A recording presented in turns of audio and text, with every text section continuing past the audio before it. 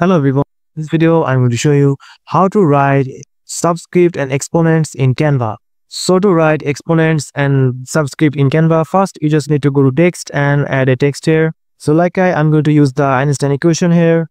So this is what you get. So to get the exponent option, you just need to go to the apps. After going to the apps, you just to find here for equation, equations. So find this equation app, click on it.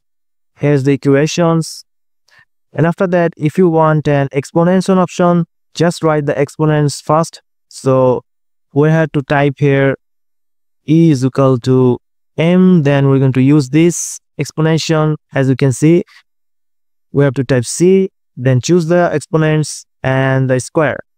And inside equation and here i get the e is equal to mc square equation. So this is the exponents. Now if you want to write the subscript here we're just going to click on the design again and go to the type section.